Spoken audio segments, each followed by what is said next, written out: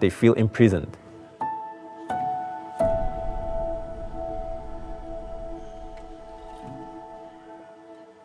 Imagine yourself attached to a machine the size of a fridge, watching your own blood in circulation in plastic tubes for four hours at a time.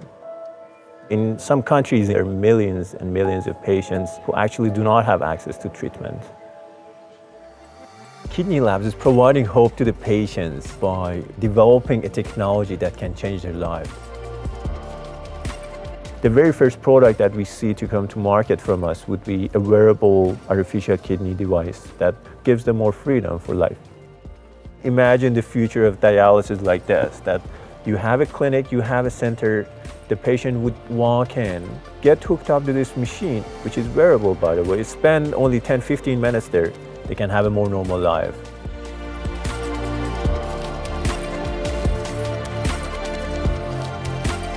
University of Waterloo have been very supportive of our project. Qidni Labs wouldn't be here without the help of Velocity. They provide so much support, mentorship, introductions to investors. They do not hesitate to help. The hope is absolutely bright for these patients to see the real change that we can make in this world by improving the quality of life for them.